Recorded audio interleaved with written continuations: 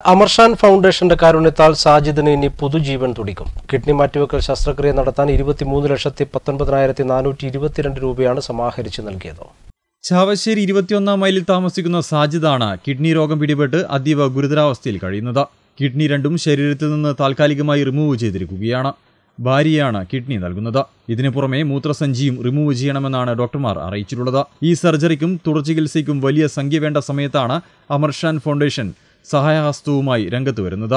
ഈ ആഴ്ച തന്നെ തുടർ ചികിത്സയ്ക്കായി എറണാകുളം സ്വകാര്യ ആശുപത്രിയിലേക്ക് പോകുമെന്ന് ഫൗണ്ടേഷൻ ഭാരവാഹികൾ പറഞ്ഞു.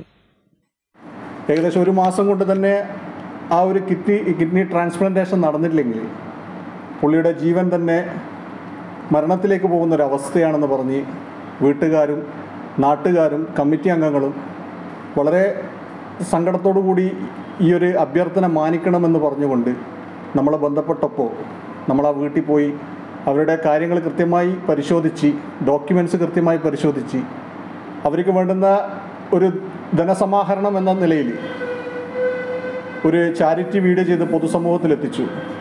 ചുരുങ്ങിയ മണിക്കൂറുകൾ കൊണ്ട് തന്നെ അവർക്ക് ആവശ്യമായ തുക നമുക്ക് സമാഹരിച്ച് നൽകാൻ സാധിച്ചിട്ടുണ്ട്. ഈ ആഴ്ച തന്നെ തുടർ ചികിത്സയ്ക്കായി എറണാകുളം സ്വകാര്യ ആശുപത്രിയിലേക്ക് പോകുമെന്ന് അമർഷാൻ ഫൗണ്ടേഷൻ ഭാരവാഹികൾ പറഞ്ഞു. വാർത്താസമ്മേളനത്തിൽ foundation trustee M Amarshan K P Naushad K Abida K P Badruddin തുടങ്ങിയവർ പങ്കെടുത്തു. News bureau Mattannur.